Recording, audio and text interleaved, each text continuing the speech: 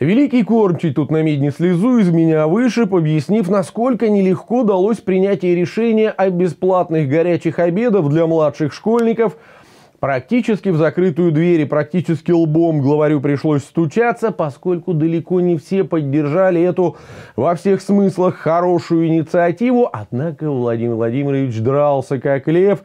В тяжелейшей политической борьбе решение продавить все-таки удалось. Вот вы знаете, я прям представил сейчас, как тот процесс проходил. Небольшая реконструкция. Идет совместное заседание обеих палат парламента, Госдума, Совет Федерации. Тут же присутствуют члены правительства Мишустина, правительство прорыва, как его еще называют. На трибуну, озираясь, поднимается будущий верховный правитель, наливает себе стакан воды, трясущийся от волнения рукой подносит стакан к губам – Затем дрожащим все по той же причине от волнения голосом докладывает. Господа, предлагаю обеспечить бесплатными горячими обедами учащихся, хотя бы самых маленьких. Из зала раздается гул. Господа, это ненадолго, только до 24 года.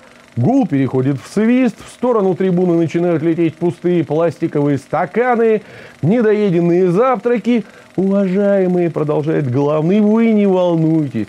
Мы собираемся закупать самые дешевые продукты. А ну-ка, хватит! Хватит нести чушь, взрываются депутаты из «Единой России». Наша фракция будет голосовать против, и чтобы больше не высовывался с подобными предложениями, слава богу, в тот раз две трети единороссов, как обычно, предпочли прогулять заседание. Исключительно благодаря этому предложение Путина все же прошло. Ой, блин, по-моему, это худший сценарий для пьесы, которую даже в самом захолустном театре поставить стыдно. Впрочем, на главной российской сцене в Театре абсурда в Кремле так не считают. Начинаем!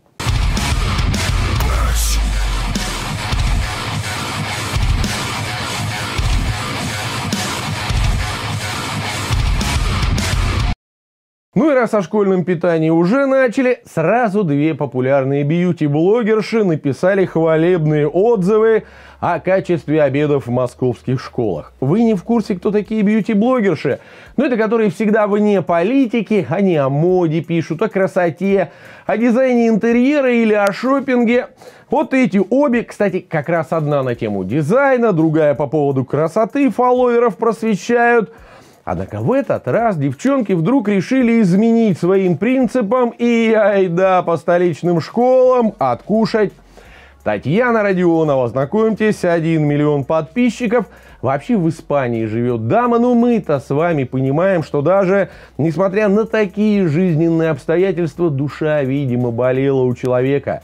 Ночей не спала, все думала, чем московских пионеров-то кормят в заснеженной Москве. В общем, сорвалась, съездила на историческую родину, и ведь не зря съездила, как оказалось. Так здорово, что все меняется, меняется к лучшему. Во времена моего детства даже десятой доли не было из того, что есть сейчас у наших детей. Пусть по всем городам России тоже вводится такая система, и в Барселоне, кстати, не мешала бы. А это уже Ирина Каливерина, она из Москвы, 600 тысяч адептов – Главный интерес в жизни – дамские платья. Даже дизайн-студия собственная имеется, но тоже вот захотелось леди ответить котлетки с пюрешкой из среднестатистической муниципальной одиннадцатилетки. Что скажу, было вкусно. Во многих школах кормят прямо очень хорошо. Во многих в одну съездила, во всяком случае, как будто бы, но и этого хватило, чтобы осознать, так кормят во многих школах или вот так. В этот день Бог послал Александру Яковлевичу на обед бутылку зубровки, домашние грибки, черные зернистые корки, фаршмак из селедки, украинский борщ. Но если серьезно, я не понимаю, на каких идиотов данная пиаровская акция рассчитана. Во-первых, я об этом сказал выше, обе блогерши занимаются тематикой, которая далека от истории с продвижением питания в обычных школах настолько же, насколько далек я от кормления грудью там, или от ношения бюстгальтера.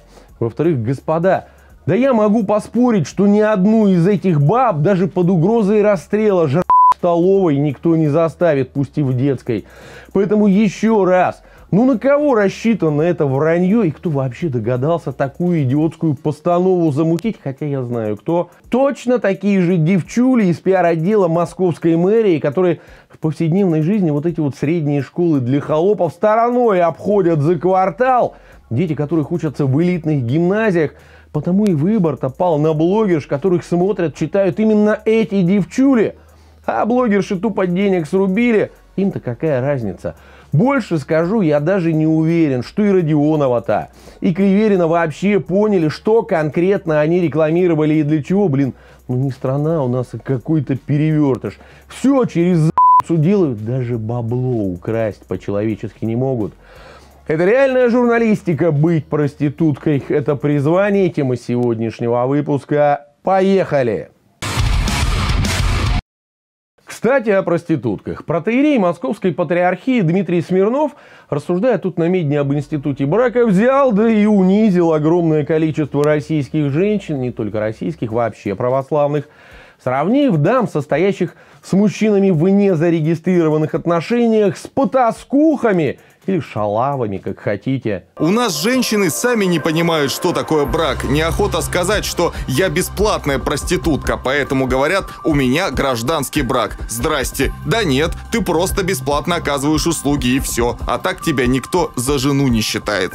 Скажу честно, я сам сторонник регистрации отношений между людьми, правда, совсем по другой причине. Ну а болтовня этого папа всего лишь бред старого человека, и я на это надеюсь, в смысле, что это не позиция РПЦ, Возможно, для священника Дмитрия Смирнова семейная жизнь ограничивается исключительно одним обстоятельством, где и как закрутить болтик в гаечку. Я же мыслю более рационально, что такое брак.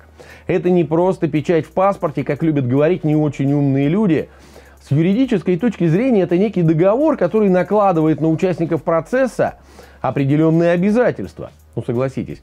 Помимо постели вы ведете совместное хозяйство, создаете совместный бюджет, делаете какие-то совместные покупки, в том числе дорогостоящие, обзаводитесь детьми, опять же, совместно. Однако бывают случаи, когда брак дал трещину, люди решили расстаться. Как им делить общее? По принципу «кто наглее, тот и прав»? Вот для этого и нужна печать, чтобы вы законом были защищены, а еще Регистрация отношений – это готовность нести ответственность. Вот о чем, как мне кажется, должен рассказывать священник, а не ахинею нести, больше напоминающую речь бестолкового прыщавого подростка-ниста. Вообще, я уже давно жду, когда в нашей стране законодательно запретят думать, ну а судя по тому, с чем приходится ежедневно сталкиваться, ждать осталось недолго. Мизулину давайте вспомним, например. Такое человек несет и сидит в Совете Федерации, при этом с 15 года, я думаю, будет и дальше сидеть Уроки патриотизма начали заменяться уроками борьбы с коррупцией. Причем с 1 по 11 класс. Детям предлагают рисовать картинки, а, предлагают информацию, например, такого свойства, где пирамида, а, где страны расположены в иерархическом порядке по уровню коррупции, и Россия оказывается, естественно, далеко-далеко внизу, там рядом с Узбекистаном. Что патриотизм – это одно, а борьба с коррупцией и навязывание в разных школах – это очень опасная тенденция. Честно, а мне кажется, что очень опасная тенденция – это как раз наличие во власти таких вот мизулиных. И они множатся. Опасная тенденция – это присутствие в церкви таких вот попов, как Смирнов. Опасная тенденция – это когда национальная идея становится ложь, когда вранье льется из каждого утюга, а за ширмой всего этого сидят какие-то упыри, которые разворовывают мою страну, превращая моих соотечественников – в бесправных рабов-холопов. Кстати, под занавес. Хочу фрагмент нового клипа моего друга Алексея Осипова из группы «Грани» вам презентовать. Весьма в тему, я серьезно. Всякая шелупонь, которая здесь никто и звать никак. Страна рабов, страна господ. Крепостные, холопы! Холопы крепостные, их почти что вся Россия. Барин денежку дает, а холоп ее берет Дети знатных депутатов По Европам и по Штатам А холопы крепостные все они помрут в России. Крепостные холопы, вы хотели, как в Европе. Так получится едва, прямо скажем, Хрена с два.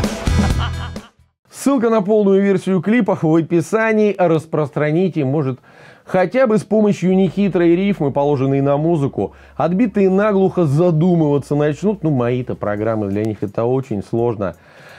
Хотя бы думать людей заставим. Все. Это реальная журналистика. Дальше сами все знаете. Ссылка на YouTube страничку сверху.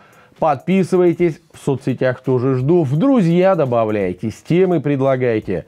Поднимем и обсудим. А я за сим спешу откланяться пока. Пока.